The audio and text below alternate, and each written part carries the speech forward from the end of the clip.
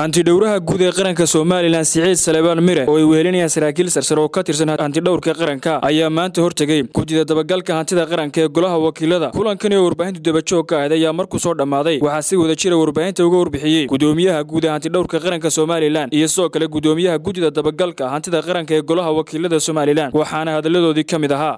Maanta oo bisha january tahay saddex laba kun iyo sideed tobanka xafiiska guddida ilaalinta iyo dabagalka hantida qaranka.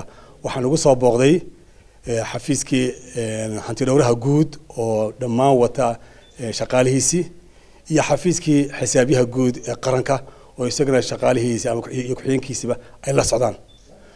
Kulankan aan sugunima wuxuu maanta daaranaa xisaab xidhkii laba kun iyo lix iyo tobanka oo saa ka warqabtaan hor yaalay golaha wakiilada baryihii u dambeysay ay ka doodeen markii kadib guddidani ay warbixin ku saabsan xisaab xidhka ay golaha horgeysay. Waxaa kale oo kulanku uu daaranaa maa bacd ama wixii ka dambeeya xisaab xidhkan see loo wada shaqeynaya.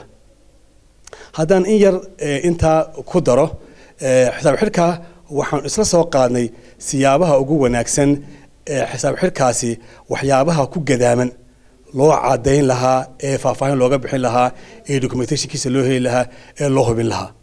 Dhinaca hantidhowraha guud iyo dhinaca xisaabiyaha guud waxay noo ballan qaadeen in wax alaa wixii ku saabsan cadeymahaas iyo cadayntoodii iyo iyo document iyo wixii documents ay lahaayeen o dhan inay noola diyaar yihiin inaan anaguna isheeda aan ku soo aragno.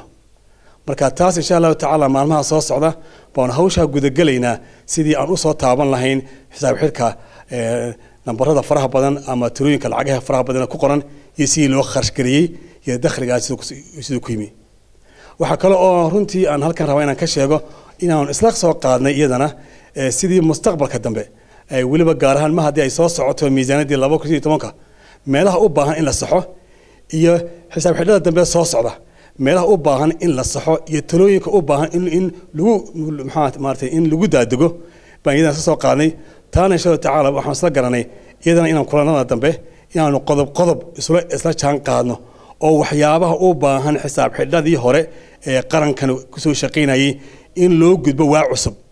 oo xataa madaxyo aan markaa runtii suurtagal ahayn in la sii wado loo baahan yahay in laga joojiyo iyo waxyaabo kale oo fara badan oo loo baahan yahay runtii in wax laga hagaajiyo xisadhada taana meel fiican baanu dhignay oo iyadana waanu sii wadi doonaa bilahi tacala maalmaha soo socda si aanu u soo jeedino u soo bandhigno talooyinka lagu la hordhigayo wasaaradda maaliyadda gaar ahaan guddida u qaabilsan miisaaniyadda. Insha allahu tacaala maalmaha soo socda oo talooyinkaasoo ku saabsan si wax looga bedeli lahaa miisaaniyadda iyo si wax looga bedeli lahaa xidxidhada kulankayaga maanta waa mas'uuliyad wadareed.